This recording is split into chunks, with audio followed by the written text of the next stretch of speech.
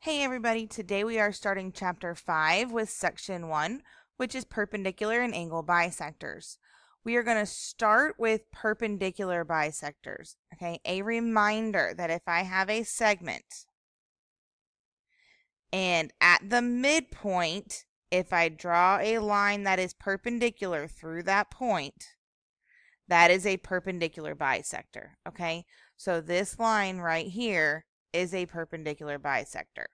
Okay, it is perpendicular to the segment and it bisects it as well.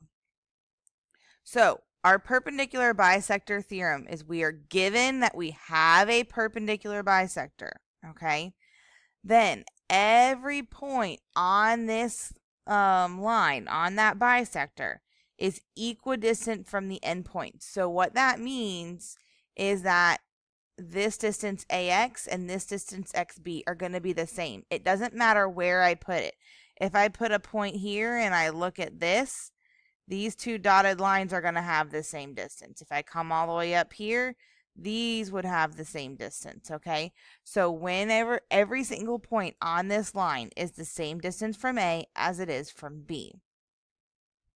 Okay, the converse of that is that if we have a point that is the same distance from the endpoints of a segment, then that point lies on the perpendicular bisector. Okay? Um, so if you have questions on that, go ahead and write that down. All right, so let's take a look at example one. I want to find each measure using that perpendicular bisector theorem and its converse. So if I look here, I know that line L here is the perpendicular bisector of segment XY. Here, these are congruent and it's perpendicular because we have a right angle. So that means that I know based on the theorem that these are congruent.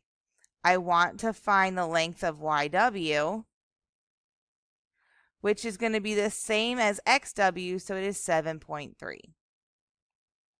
And that is all there is to that. Nothing more complicated. Okay. When I look here, okay, at BC, notice that A is the same distance from B as it is from C. That means that this point A is on the perpendicular bisector of segment BC. So that means that this piece here is going to be equal to this piece here. So BD is going to be 16. Well, if I want to find BC, I'm going to take 16 plus 16, and I'm going to get that BC is 32. All right. Then when we look at C, again, I know that line L here is the perpendicular bisector because, again, I know that these are congruent, so that means I have a bisector. I've got my right angle to show perpendicular. Okay, so that means that R is going to be the same distance from Q as it is from P. So that means that these are congruent. So I can set 2n plus 9 equal to 7n minus 18. I'm going to start by subtracting 2n from both sides. I'm going to get 9 is equal to 5n minus 18. I'm going to add 18 to both sides. So I am going to get 27 is equal to 5n. And then when I divide both sides by 5, I'm going to get 27 over 5 is n. Just leave it like that for now because um, we're going to go turn around and plug that in. Because I want to find the length of PR. Okay, so PR is 2 times 27 over 5, which is n plus 9. All right, so we're going to get PR is equal to multiplying this by 2 is going to be 54 over 5 plus 9. Um, and at this point, I'm going to go ahead and let you take this to a decimal um, because 54 over 5 is going to be 10.8. And when we add that together, PR will be 19.8. A little wonky there. Okay, so if you have questions on that, go ahead and write that down now.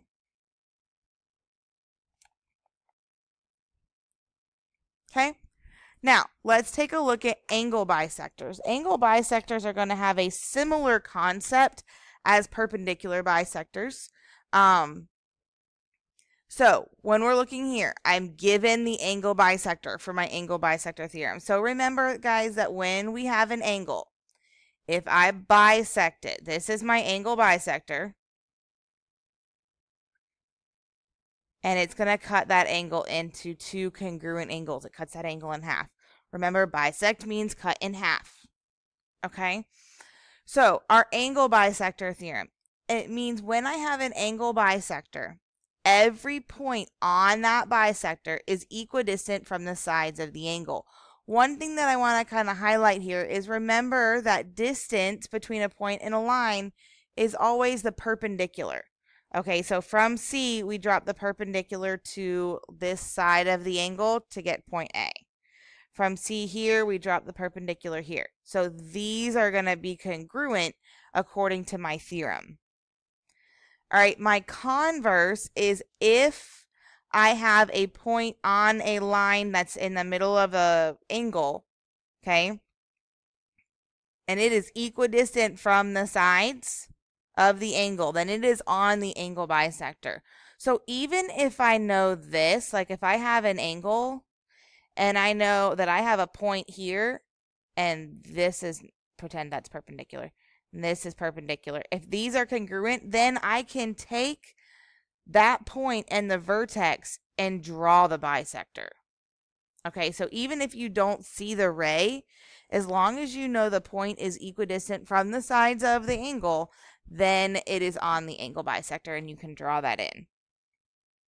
All right, so if you have questions on that, go ahead and write that down. And let's take a look at example two here. All right, so I want to find all of my measures here. So with A, I have angle JKL. It is being bisected by ray JM.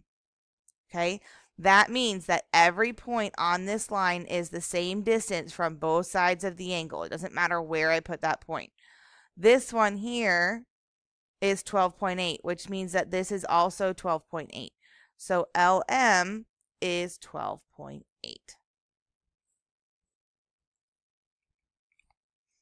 All right, when we look at B, point D is the same distance from ray BA as it is from ray BC, which means it's going to bisect this angle. Now here we're told that ABC is 112. So that means this whole angle is 112 degrees. So that means that to find the measure of angle ABD, which is just this one here, I'm going to take that 112 and divide it by 2. So that the measure of angle ABD is 56 degrees.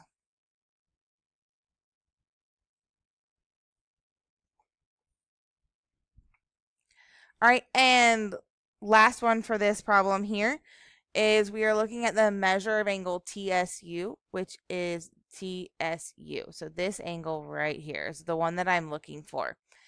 I know that U T is the same length as UR. So U is equidistant from the sides of this angle, which means that this angle here has been bisected. So that means that I can set 5z plus 23 equal to 6z plus 14. So I'm going to start by subtracting 5z from both sides, and I'm going to get 23 equals z plus 14 if I subtract 14 from both sides, I'm going to get that 9 is equal to z. So now when I want the measure of angle TSU, I'm going to plug 9 in. So I'm going to do 5 times 9. Running out of room here. Hold on, let me slide over a little. Okay, 5 times 9 plus 23. All right, so 5 times 9 is 45, and 45 plus 23 is 68. So it's going to be 68 degrees.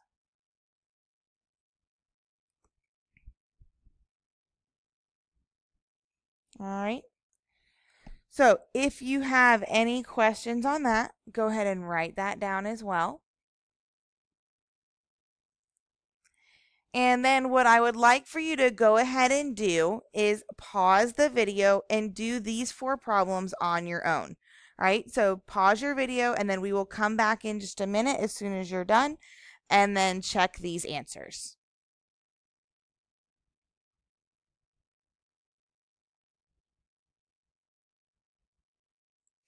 Okay, so let's take a look. Go ahead and take a second, check all of your answers. With 1A, we're given that L is the perpendicular bisector of this picture.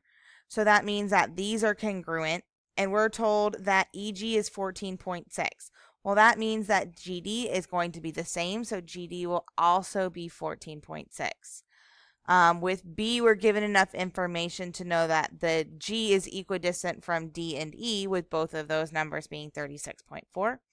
And the whole length D to E is 20.8. Well, if I want to find EF, I know that that is now a, or the, I know that GF is now a bisector. Okay, because those because point G is equidistant from D and from F or from E, excuse me. Um, so all I had to do is cut that in half to find EF. Over here, when we're looking at 2A, we're told that YW is going to bisect my angle XYZ. All right, and that WZ is 3.05, which means WX is also going to be 3.05 because, again, every point on your angle bisector is going to be equidistant from the sides of your angle. Um, and then when we look at 2B, we're given that uh, the measure of angle WYX, which is this one here in the corner, 63 degrees, and that WZ and WX are both 5.7. Um, so since W is equidistant from X and from Z, it is on the angle bisector. So that means that this angle here is also 63 degrees. Well, if I want the measure of angle XYZ, which is the whole thing, I'm going to double this one because there'll be two of them. So I'm going to multiply that 63 times 2 and get 126 degrees. So any questions you guys have, go ahead and write those down now, and we will take care of all of those in class. Hope you guys have a great day.